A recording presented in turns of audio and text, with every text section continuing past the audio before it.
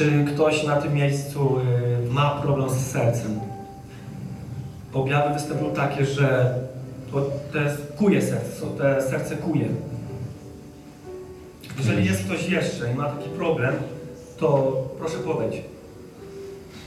Jeżeli występuje kucie serca i nie ulegają te, y, że nie przestaje to, to się chce pomodlić o to. Również osoby przed kamerami, które nas oglądacie w tej chwili. Jeżeli takie masz odczucie, połóż na sobie rękę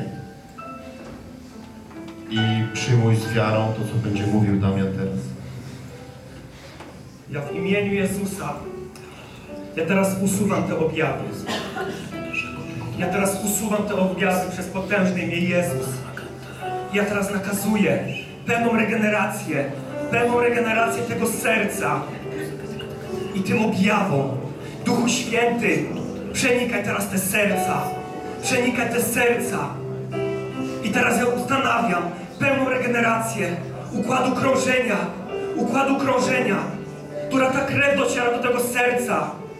Macie, macie się teraz usunąć te objawy, te kucie przez potężne imię Jezus. I ja teraz nakładam krew Jezusa, krew Jezusa nakładam na to miejsce. Duchu Święty, Duchu Święty, docieraj głęboko do tych miejsc i lecz je w imieniu Jezusa. Amen. Amen.